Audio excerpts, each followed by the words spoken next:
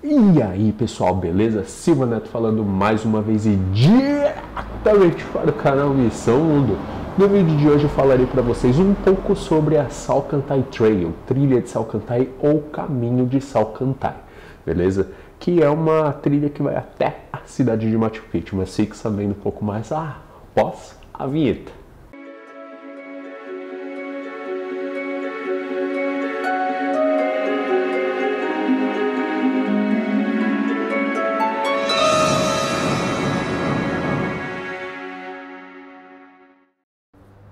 Pessoal, como eu disse, a trilha de Salcantay, eu vou comumente falar Salcantay Trail, que eu me acostumei, beleza? Ela é uma trilha que leva até a cidade perdida Inca de Machu Picchu.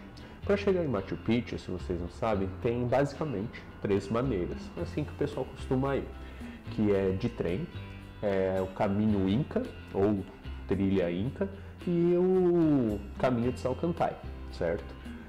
Eu resolvi não fazer o trem porque é muito rápido e tem que pagar. Então, e o preço é razoável, não é muito caro, mas também não é muito barato. Então, resolvi não fazer.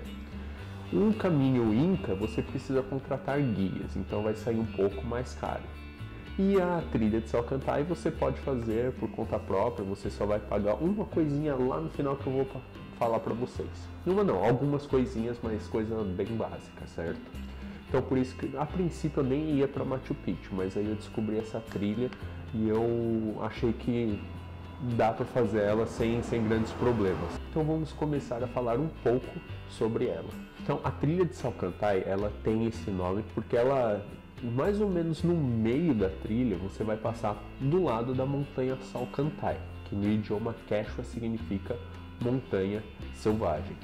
Esta é uma trilha de duração aproximada de 3 a 4 dias, vai depender de uma parte final de como você vai fazer e também uma pequena parte no começo. Para você chegar no começo da trilha, você primeiro, antes de tudo, tem que ir para a cidade de Cusco. E para chegar na cidade de Cusco, você pode ir de ônibus, de avião, de jumento, de jegue, de hipopótamo, de girafa, de qualquer coisa que você quiser. O importante é vocês chegarem na cidade de Cusco. Vocês vão chegar na cidade de Cusco, vão procurar por uma van que leve vocês de Cusco até Moyepata. Vocês devem sair, pegar essa van bem de manhãzinha, o quanto antes, para chegar até Moyepata, que demora aproximadamente entre uma hora e meia e duas horas. Indo com essa van até a cidade, a cidade não, desculpa, é um vilarejo, vilarejo de Moyepata. Chegando nesse vilarejo, vocês têm duas opções. Ou vocês ficam ali, ou então vocês pegam, contratam um carro ou alguma coisa para levarem vocês um pouco mais adiante, algumas cidades mais adiante, alguns vilarejos mais adiante. Ou então vocês começam a trilha dali mesmo. Como eu vou no estilo de viagem baixo custo, eu vou começar a trilha dali mesmo, vou andando porque vai ser mais bonito também e mais prazeroso. Então agora eu vou mostrar para vocês como que é o trajeto de Moyepata até Águas Calientes, que é o final da trilha, certo? Então vamos acompanhar. Então chegando na cidade de Moyepata, você vai iniciar o seu primeiro dia com uma trilha de aproximadamente 24 quilômetros que durará aproximadamente 6 horas e 30 minutos. Você vai sair de 2.850 metros até 4.150 metros, tudo isso no primeiro dia. E você vai até o vilarejo de Salcantaipampa. De Salcantaipampa você vai iniciar o segundo dia de trilha passando ao lado da montanha de Salcantay. Neste dia você vai percorrer aproximadamente 17,4 quilômetros com uma duração aproximada de 8 horas, saindo de 4.150 metros até 2.435 metros, chegando no vilarejo de Iuscamaio. No terceiro dia, saindo de Iuscamaio, você vai percorrer 32 quilômetros com direção a Águas Calientes. Este percurso você poderá fazer de van e até chegar na hidrelétrica. Da hidrelétrica você pode pegar um trem ou então você pode fazer todo este caminho até, até a cidade de Águas Calientes. Vocês viram só, não é o caminho assim tão complicado, dá para fazer. Eu recomendo sempre que a pessoa que vai fazer isso sozinha tenha já uma experiência, leve um GPS, porque o caminho é bem demarcado no geral, mas é necessário sempre uma atenção, principalmente com relação a, ao relevo. Eu digo isso porque a altitude mínima dessa trilha é de 1833 metros e a máxima é de aproximadamente 4.634 metros. Então é um desnível muito grande. E a, esse maior desnível você vai pegar no segundo dia, que é o dia mais cansativo. No entanto que você vai andar menos e a caminhada vai durar mais tempo. Então vocês têm que ficar muito espertos com este trajeto. É, se você puder fazer uma aclimatação em Cusco antes, ficar pelo menos uns dois dias lá, andar, se possível praticar alguma atividade, vai ser bem legal para o seu corpo se acostumar. Caso contrário, vai direto, mas se prepare, porque vai ter que ter um prepara, uma preparação física, não digo excelente, mas alguma você vai ter que ter para você não passar tão mal, principalmente porque você vai sozinho ou sozinha. E com relação à alimentação, você não precisa se preocupar tanto com isso. Então sua mochila não precisa ir tão pesada. Por quê? Como vocês viram no, no mapa, vocês vão passar por diversos vilarejos. E esses vilarejos você vai poder comprar comida, vai poder reabastecer sua água. Então você não precisa em cada dia carregar muita coisa. Você pode levar lá o seu fogareiro, tranquilo, levar alguma comida, levar alguma água suficiente para o dia e um pouco de reserva para caso de alguma emergência. Mas durante toda a trilha, de cada dia, vocês vão passar por vilarejos onde vocês vão poder comprar comida, então fiquem despreocupados quanto a isso. Com relação a equipamentos para você levar, vestuário, barraca, essas coisas, eu recomendo altamente que vocês vejam a segunda parte do vídeo para Torres del Paine, que lá eu vou estar explicando direitinho quais são os equipamentos necessários para fazer torres, que vão ser os mesmos necessários para fazer a Salcantay, independente da época. Digo isso porque no verão vai chover bastante, vai fazer bastante calor, no inverno muito provavelmente vocês vão pegar neve. Então o equipamento que é recomendado para Torres del Paine é um equipamento que abrange um pouco das duas dos dois extremos. Então vocês vão conseguir fazer com uma certa calma e com uma segurança um pouco maior. Fechado? E quando vocês chegarem em Águas Calientes, vocês vão poder, óbvio, ir até a cidade perdida de Machu Picchu. Eu digo perdida porque demorou-se muito tempo para descobrir ela, então todo mundo costuma falar que é a cidade perdida, é uma cidade inca, certo?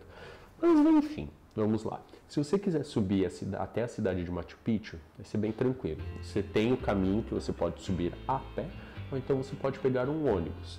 É sempre legal você sair o mais cedo possível para iniciar a subida, seja de ônibus ou seja a pé. Mas um detalhe, para você entrar no parque de Machu Picchu, você antes tem que comprar o seu ingresso. Então está aparecendo agora aqui embaixo na tela e eu vou deixar na descrição o link para vocês comprarem o ingresso ok? Então vocês vão entrar lá no site. No site vai ter as datas disponíveis e os horários disponíveis. Além disso, você vai poder comprar também a passagem, o ingresso para a Huayana Picchu, que é uma cidade que fica um pouco além de Machu Picchu, de onde você consegue ter uma bela visão da cidade perdida. Então, cara, é bem tranquilo você fazer tudo isso sozinho. Bem tranquilo assim eu não digo, né? Porque vai dar trabalho, você vai se cansar mas garanto que vai ser extremamente recompensador. E para você voltar de Machu Picchu, é só descer até Águas Calientes, de Águas Calientes sai o trem que vai até Cusco, até quase Cusco. e depois você pega uma van e segue até Cusco. É bem tranquilo, beleza, pessoal? Então o vídeo de hoje foi extremamente rápido, sucinto, direto, em um lugar diferente eu não sei se vocês notaram, mas eu tô com um negócio aqui que, meu Jesus olha, trágico. Mas, enfim, se vocês tiverem alguma dúvida quanto a esse trajeto, só manda aí nos comentários que eu vou responder o mais rápido possível. Se tiver alguma sugestão também, pode deixar aí embaixo nos comentários que eu vou responder o mais rápido possível. E para quem quiser ajudar o projeto Missão Mundo, é muito simples, é muito fácil. Basta você entrar no site www.vaquinha.com e procurar pelo Missão Mundo Alaska. muito simples. E se você deseja patrocinar ou então ser um parceiro do, deste projeto, é só você entrar lá no site Missão Mundo. Vai ter o link aqui na descrição, ok? Lá você tem acesso aos meus contatos, então você pode mandar uma mensagem lá e a gente negocia alguma coisa. Por sua marca aparecer tanto nos vídeos quanto no site, quanto no Facebook, quanto no Instagram, em todo que é lugar. Legal? E se você quiser ajudar de uma outra forma, você também pode. É só entrar lá no Facebook e curtir a página no Facebook. Entrar no Instagram e seguir Missão Mundo no Instagram. E além disso, é é claro, é só você curtir este vídeo, compartilhar este vídeo e se inscrever no canal.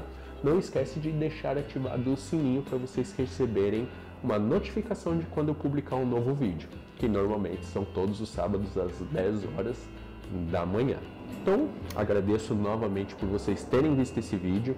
Semana que vem eu vai, vou dar continuidade a esses trekkings nas Américas e eu vou falar sobre a trilha no Grand Canyon. Então não perco que é uma trilha bem diferente que nem todas as pessoas aqui no Brasil principalmente conhecem essa trilha. E é uma trilha fenomenal e tem várias informações que te ajudam muito a fazer ela. Então fiquem ligados na semana que vem, novo vídeo, trekking no Grand Canyon.